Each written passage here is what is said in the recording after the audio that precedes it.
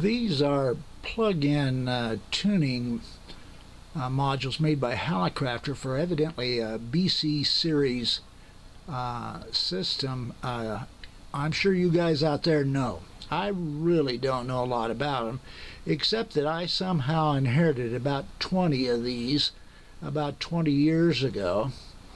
And through the years, I've sold them all but these three and uh, I just want to get these three gone.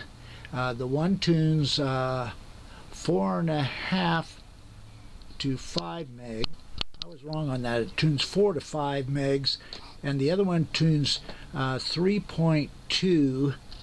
The other one tunes 2.5 to 3.2 megs. Now I've got the back of of one showing. Now it's kind of a duplicate of the four to five meg unit but uh, I would I just want to get rid of that so I'm going to throw it in. Uh, uh, I will sell the three of them uh, for $40 the three of them for $40 and that's shipped.